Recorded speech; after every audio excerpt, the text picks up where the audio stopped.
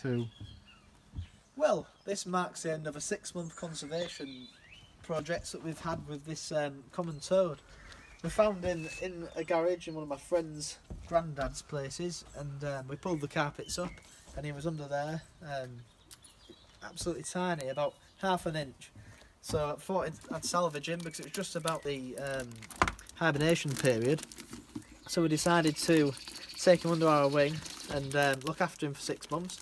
He's been living in this enclosure, which has had um, coconut fibre as a substrate, but with um, sort of clay balls as um, sort of a filtration layer, and some bamboo leaves for him to hide under. Now he's gotten a lot bigger. I've been feeding him waxworms and crickets, so we'll see what he looks like now because I haven't seen him in a while because he's been buried underneath all this, um, all these leaves. So I've left it six months. We got him in October, and they're supposed to come out of hibernation in um, March. So here he is. He's a lot bigger than he used to be. He's massive, actually. I'm surprised how big he is. But um, I'll be sad to see him go. But uh, he'll probably miss the waxworms. But it's better for him to be in the wild. So I'll just get him out. Come here, Toddy. Here we go. I'm surprised how big he is. I'll just take him to the ground. So here he is.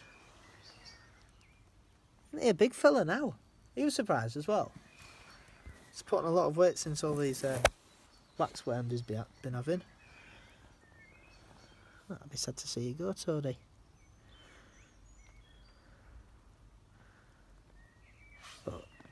I can tell he's not really keen on captivity because he's always underneath his thing and you know he needs to go into the wild.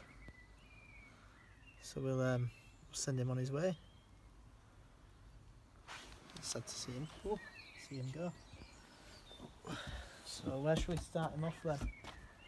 I'm not sure. Should put him here and see where he goes because he probably. You might be better off near that. Um, Why don't we put, it, compost bin. Put near the frog spawn. if we put him on here though, he might go underneath that, mightn't he? I'm not sure. Yeah, we could put him in that hedge company and see where he goes.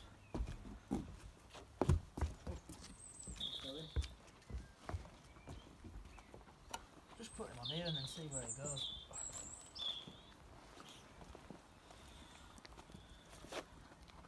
Get zoomed in, see where he's going. have to do another video to get the flash on.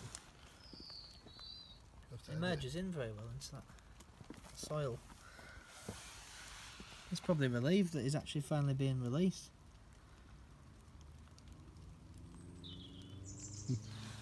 Looking for his grandma and granddad.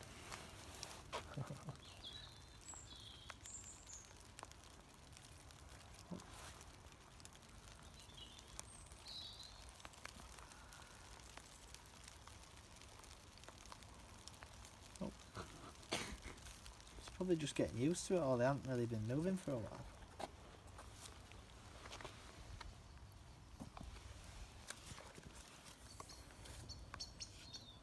He's finally got his freedom, look at him. Leave him off bit.